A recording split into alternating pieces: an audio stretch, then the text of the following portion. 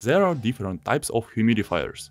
Dyson ones that cost all your money, they look fancy like a brand new car, and Chinese ones that try to attract you with a cute appearance. Obviously they are much cheaper and obviously less effective. However, I'm not gonna measure abilities of these Chinese humidifiers and compare it to Dyson ones. In this video I would like to talk about how it works and how this stream of water is created, about the physics of the process, and the best way to understand its working principle is to look inside of it. So let's disassemble it to look at what is inside. There are several main parts.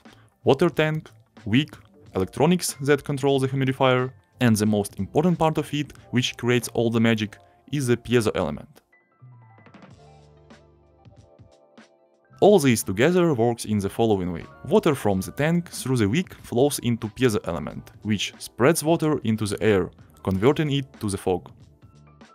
To understand its working principle deeper, let's just split the cat into two most crucial parts, which are the control board and piezo element itself, and we'll try to figure out how they work. So let's start with the element itself. Piezo element is created from a special material, which can convert electrical energy into mechanical. For example, when voltage is applied to it, it deforms.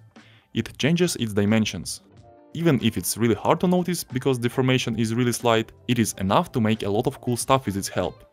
For example, it is used in actuators in hard disk drives, or as in this case, it is a part of the humidifier.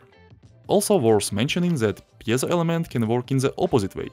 It can generate electricity when it is deformed. For example, some lighters use piezo element in order to get a spark. So piezoelectric effect is just an unique ability of some materials that allows to convert one form of energy into another.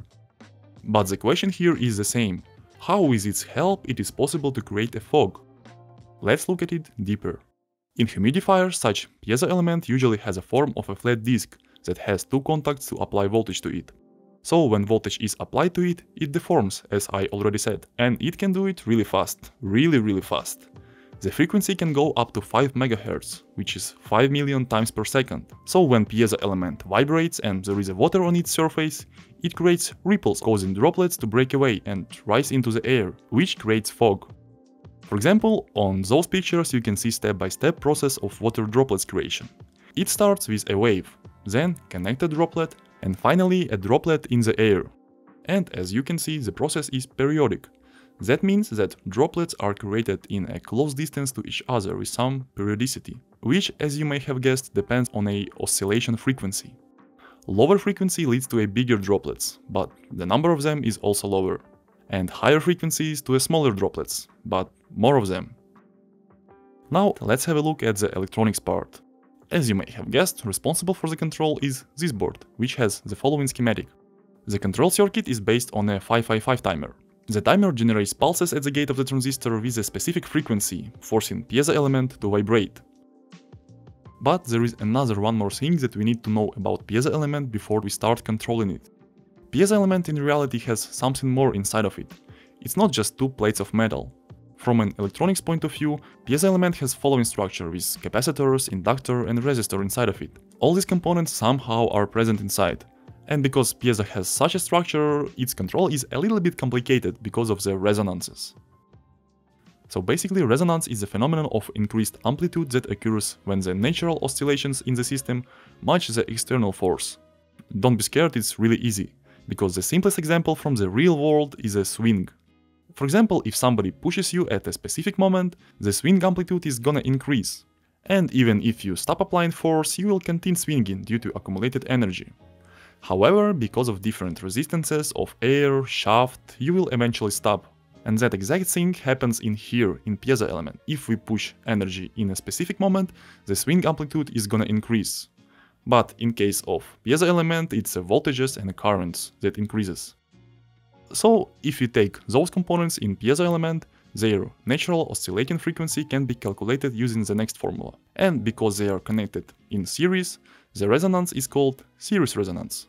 And if it comes to these components, because capacitor is connected in parallel, resonance will be parallel. And actually it is very important because it is two different types of resonances with very different properties. These components are connected in series and the current that flows through them is the same, but the voltage is not.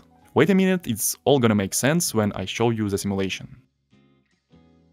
In this example, AC voltage source has 15 volts amplitude. The parameters of the circuit doesn't matter for now. And just with a sleight of hand and no cheating, you can see how 15 volts at the source converts into almost 100 volts at the passive components, capacitor and inductor. But how it is possible? As I said, it's a swing. By applying force in phase with the oscillations, 100,000 times per second, we were able to achieve such high values. Also, if you pay attention, you can see that voltage at the capacitor and inductor are in opposite phases. That means that they just exchange energy with each other. Energy goes from one element to another. So that is how series resonance work. In series resonance, the voltage at the components are much higher than the input.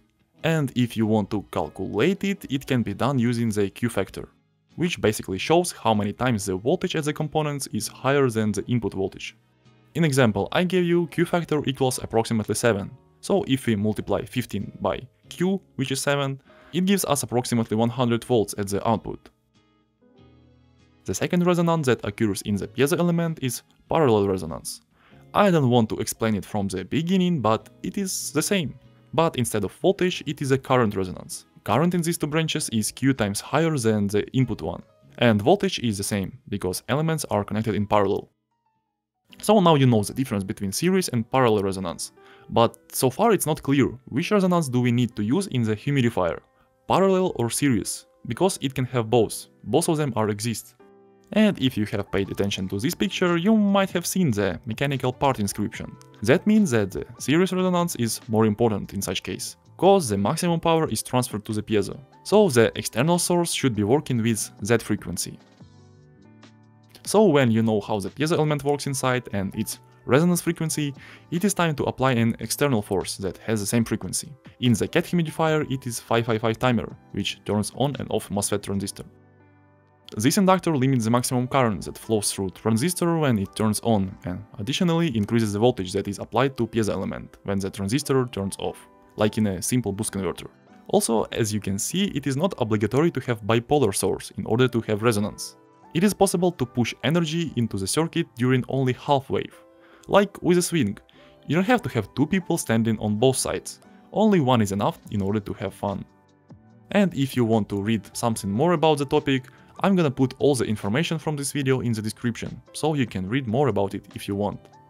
That was Chinese humidifier, press like and subscribe and see you in the next video. Bye!